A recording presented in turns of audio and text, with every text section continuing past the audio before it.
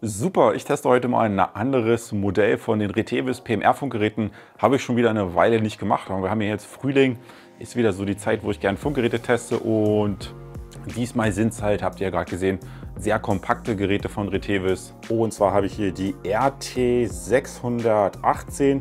Wie gesagt, äh, wenn ihr euch Funkgeräte kauft und ihr seid kein Amateurfunker, achtet immer darauf, dass es lizenzfreie Funkgeräte sind und PMR-Funkgeräte sind lizenzfrei. Die könnt ihr normalerweise total bedenkenlos verwenden und das zeige ich euch heute mal in meinem Unboxing und Reichweite-Test. Wie gesagt, ich habe immer verschiedene Teile in meinem Video. Ihr schaut gerade den Einführungsteil. In Teil 2 packe ich die Funkgeräte mal aus, zeige euch ein paar Aufnahmen. Äh, die sind nämlich echt ganz lustig designt. Die haben in der Mitte so einen Knopf, wo man draufdrücken kann. Und ja, dann laden wir die auch mal auf und in Teil 3 gehe ich dann mal raus, mache so einen Reichweite-Test auf meiner Reichweitenstrecke. Da laufe ich immer die gleiche Distanz und vergleiche so, wie haben sich verschiedene Funkgeräte auf dieser Strecke klangtechnisch verhalten. Könnt ihr auch so ein bisschen orientieren. Wie gesagt, ist immer nur ein Richtwert, denn PMR-Funkgeräte sind halt lizenzfrei. Die haben nur 0,5 Watt und 0,5 Watt ist halt eine relativ geringe Sendeleistung. Und das heißt eigentlich nichts weiter, als dass die Reichweite immer umgebungsabhängig ist. Wenn ihr jetzt irgendwie krass die Hindernisse habt, ja, fette Betongebäude oder ihr seid irgendwo in der Stadt, ist natürlich klar, bei einer geringen Sendeleistung verschlucken dann die Gebäude und die Hindernisse äh, sehr schnell das Signal. Während wenn ihr eine günstige Teststrecke habt, so wie bei mir ist die Teststrecke eigentlich relativ leicht für die Funkgeräte, dann sage ich mal, ihr wohnt auf dem Land irgendwo oder ihr funkt von einem Berg zum anderen, dann habt ihr natürlich normalerweise auch sehr hohe Reichweiten. Deswegen auch immer im Laden, wenn ihr irgendwo seid und da steht in der Laden, im Laden steht da irgendwie 5 Kilometer drauf, dann könnt ihr euch eigentlich gleich merken, wenn ihr irgendwo in der Stadt damit unterwegs seid, da kriegt ihr nie und nimmer nicht 5 Kilometer. Zumindest ist das meine Meinung. Aber auf meiner Teststrecke, da weiß ich ungefähr, wie es sich verhält. Und ähm, ja, wenn ihr es im Prinzip genau wissen wollt, dann testet am besten mit irgendwelchen Funkgeräten, denn die haben ja alle die gleiche Ausgangsleistung bei euch vor Ort. Dann kriegt ihr auch relativ schnell ein Gefühl dafür, was für eine Reichweite ihr bekommt. So, jetzt habe ich eigentlich schon ziemlich weit vorgegriffen. Wie gesagt, Unboxing, Reichweitentest und dann noch das Fazit. Toll, dass ihr da seid. Los geht's. So, dann schauen wir uns die Retevis RT618 mal ein bisschen von der Nähe an. Wie gesagt, äh, kompakte Taschen-PMR-Funkgeräte. Äh, mal ganz interessant, das zu sehen. Wie gesagt, es gibt immer verschiedene Bauformen. Und kompakt ist natürlich auch ganz praktisch. Bei denen ist jetzt hier gar nicht so viel Zubehör mit dabei. Die Batterien hatte ich vorhin schon mal eingelegt. Und ihr habt halt hier USB-Ladekabel. Äh, solltet ihr halt auch bedenken, habt ihr USB-Ladenetzteile dann ausreichend am Start. Zeige ich euch nachher auch noch mal ein zusätzliches Zubehör. Hier waren wie gesagt die Batterien drin und Nahaufnahme mache ich für euch natürlich auch immer hier beim Unboxing. Und hier sehen wir auch noch mal die Batteriekapazität. Ist hier angegeben mit 1000 mAh Lithium-Ionen-Batterie. Wie gesagt, wirklich super kompakt. Hier hinten könnt ihr dann noch die Gürtelhalterung ranmachen oder Beltclip, wie man dazu sagt. Äh, ist aus Metall, auch ganz praktisch, hält wahrscheinlich dann ein bisschen besser als bei Kunststoff. Wie gesagt, was mir bei Retevis gut gefällt, die bringen auch immer neue Modelle raus. Also die sind wirklich fleißig, was Funkgeräte-Designs angeht. Also da kann sich eine deutsche Firma wirklich noch was abschneiden. Und interessant ist auch hier eine Sendetaste und hier eine zweite Sendetaste. Ich mache das jetzt hier mal an. Und es ist auch schon ganz schön laut. Ich könnte dann die Lautstärke hier regulieren.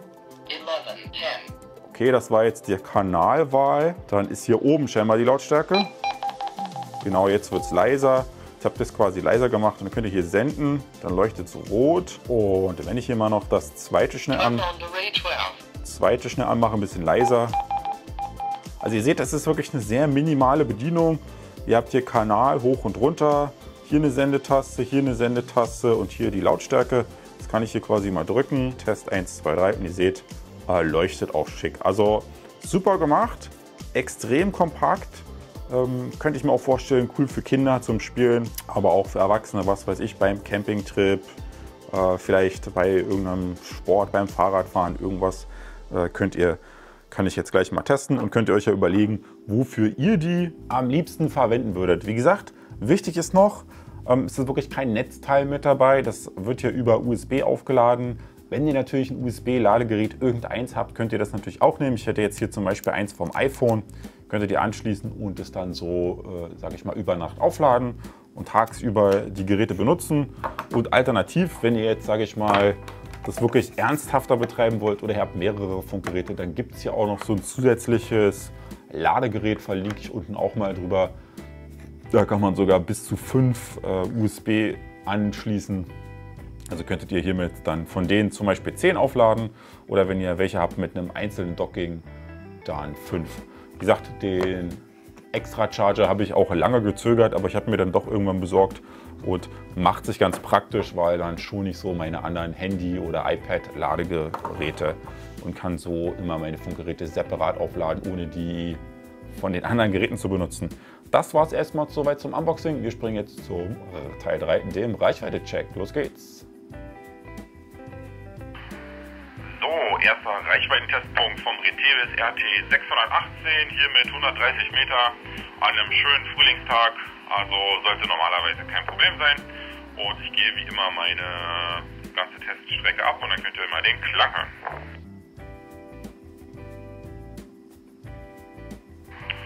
So, zweiter Reichweitentest, zweiter Reichweitentest von den äh, wirklich kleinen Retevis Funkgeräten hier am Testpunkt Nummer 2 mit 240 Meter sollte erfahrungsgemäß bei Retrievers auch kein Problem sein. Also die Geräte sind normalerweise prima. 240 Meter vom Retrievers.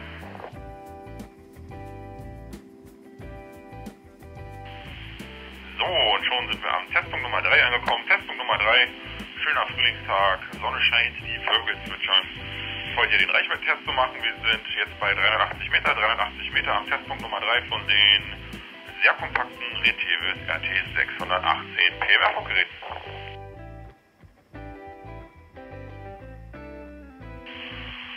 So, Reichweitentest, Reichweitentest von den Retevis PMR-Funkgeräten. Testpunkt Nummer 4 sind wir jetzt schon angekommen. 470 Meter, 470 Meter. Und auf meiner Teststrecke, die sehr nachgebend ist, äh, ist eigentlich normalerweise bei Retevis auch kein Problem. 470 Meter, Testpunkt Nummer 4. Reichweitentest, Reichweitentest, Amtstestpunkt Nummer 5.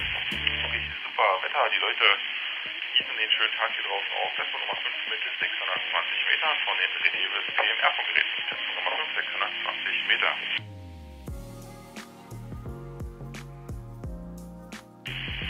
So, und nächster Reichweitentestpunkt von den Retevis, nächster Reichweitentestpunkt, Testpunkt Nummer 6 mit 700 Meter Entfernung, 700 Meter Entfernung und manche Funkgeräte werden dann hier schwächer. Schauen wir mal, ob die Retivis den Test wieder bestehen. Ist Nummer 6, 700 Meter.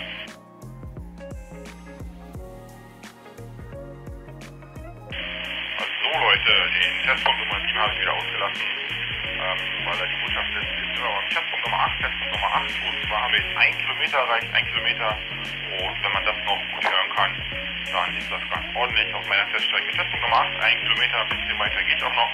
Mal schauen, wie die Rette hier so performt.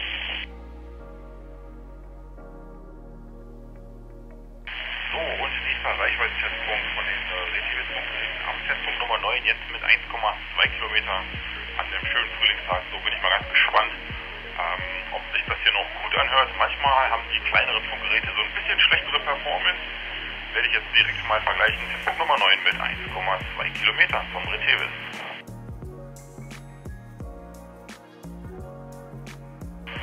So, letzter Reichweitentestpunkt für heute von den Retevis PMR-Funkgeräten am Testpunkt Nummer 10, Testpunkt Nummer 10 mit ca. 1,5 Kilometern.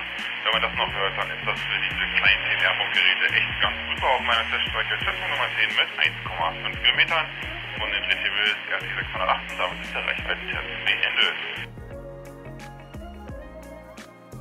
Ja, ausgezeichnet. Dann war es soweit zu dem Reichweite-Test von den Retevis RT618 und ihr habt gesehen, die haben eigentlich total gut performt. Dafür, dass das hier so kleine, kompakte Geräte sind und was mir halt auch gut gefallen ist, wenn man hier die Sendetaste drückt, dass es dann da hinten äh, grün leuchtet.